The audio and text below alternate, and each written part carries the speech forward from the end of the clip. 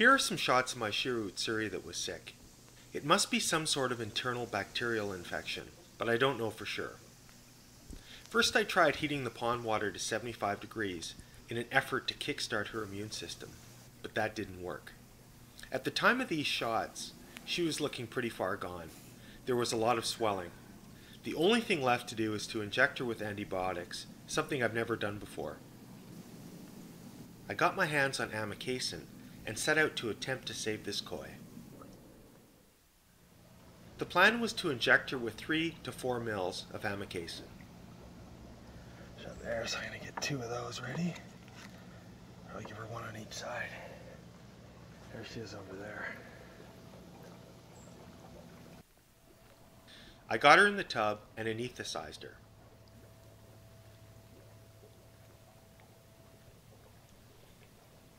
I waited a while for her to relax before doing the injections. You can really see the pine coning here. I think it is. We ended up doing two mils on each side just above the pec fins.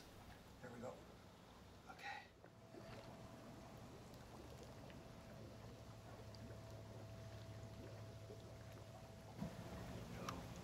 Put her back in the pond and hope for the best. So time will tell. Eh? Here are some shots of her three days later. No improvement at all.